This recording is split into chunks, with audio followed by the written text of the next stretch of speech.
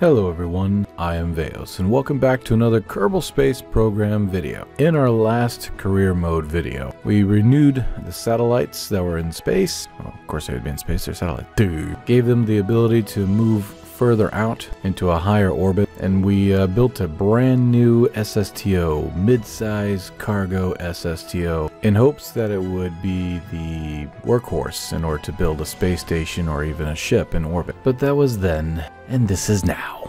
So while a new satellite system is nice, unfortunately the new SSTO could not do what I wanted it to do. You see, right now I'm trying to build a, uh, well, it's not quite interplanetary. It's more like intermoon. Is that even a thing? An intermoon ship? An intersystem ship? Ah, ah fuck I? Anyway, it's a ship that was designed that designed to go to Minmus and back. I wanted the ship to look very much like something like, uh, like I don't know, like a like a submarine or something something cool. I wanted it to have a lots of fuel and, you know, have enough room for like a little lander and all this sort of good stuff. However, unfortunately, the technology that we have unlocked right now does not allow us to exceed a certain weight limit or part count. So while the SSTO plan was a good plan, unfortunately, we can't build an SSTO big enough and strong enough to haul up the pieces into space. I tried building the first stage of the rocket, or